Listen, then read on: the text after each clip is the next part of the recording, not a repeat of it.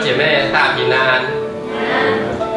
今天早，你隔壁的人跟他说：“主的喜乐就是我们的力量。”很高兴看到大家今天大家一起来这里敬拜主，感谢主。我们今天是我们教会的一个很美好的日子，因为很很多人呃洗礼，也有小人洗礼，也有见信，呃，也有那个新娘的一个告白。那现在，请我们大家一起低头，我们一起来祷告。亲爱的主耶稣，我们感谢你，赞美你。今天是多么高兴的日子，在我们教会有多多的人来受洗。主，我们感谢你这样的恩典。主，我们想到在我们犯错的时候，你爱我们，你怜悯我们。你甚至在我们犯错的时候，保护我们免于受伤；甚至因为我们所犯的过错，你情愿将自己来钉在十字架上，来用宝血来洗净我们。我们敢问世间有什么样的神是用这种方法来爱他的子民？唯有主耶稣基督，你选择这种方式来爱我们，而你是神，你不是奴仆。却又愿意为我们的罪来受刑罚、受鞭伤，因此我们又惭愧又感谢。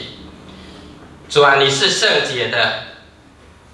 主啊，你既是圣洁的，那你照我们来，你既是圣洁的，我们也应当竭力来保持我们的圣洁，才配得称是神你的子民。求主加添给我们力力气，在我们的行事为人上，在我们的情感生活上得以保持圣洁。也求主你让台湾是一个圣洁的国度，维护家庭的价值，保守一夫一妻的家庭制度。主，我们知道要过一个圣洁的生活很难，但唯有连结于耶稣，以及连结于耶稣的身体。我们才得以过圣洁的生活。主啊，求你帮助我们，因为在人不能，在神凡事都能。感谢主。主啊，二零一四年新的一年，愿你继续带领我们，凡事都依靠你，凡事都仰望你。愿我们每一个人能够常常喜乐，不住的祷告，凡事谢恩。求神每个时刻。都不离开我们，我们要因为神而喜乐而欢呼。在新的一年，凡事呼求主，祷告主，静静的聆听主的声音，求主给我们启示的灵，带给我们走这一生。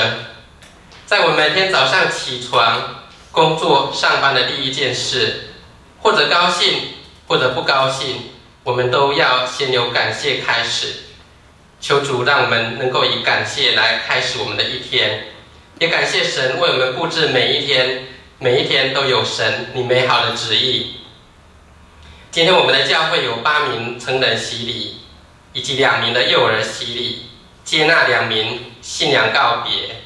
我们为此大大的来赞美感谢主，主你亲自拣选他们成为你的儿女，他们的生命从此就不再一样，是充满平安。喜乐与祝福的生命，因为主，你要将你的灵浇灌在他们的身上，就好像当初主你也将你的灵浇灌在我们的身上一样。看到别人的洗礼，今天再一次来领受主的圣餐，再一次来思念主你为我们所做的一切。感谢主你的慈爱，谢谢主你引领你的仆人方心有牧师来到永福教会来传讲你的信息。愿主你大大的赐福方牧师，也愿会众及牧师都因你的话语而喜乐而蒙受祝福。是的，主，我感谢你。我们这样祷告、感谢、赞美，都是奉主耶稣基督的名。阿门。在我们来看我们今天的圣经的一个经文，是记载在出埃及记十四章十四节。好，投影机打错，我们一起来念好不好？今天经文只有一节，耶和华必为你们征战，你们只管静默，不要作声。我们再一次好不好？耶和华必为你们征战，你们只管静默，不要作声。接下来我们要欢迎方新友牧师来帮我们呃做讲道，他的信息是静静体会上帝的作为。我们欢迎方牧师。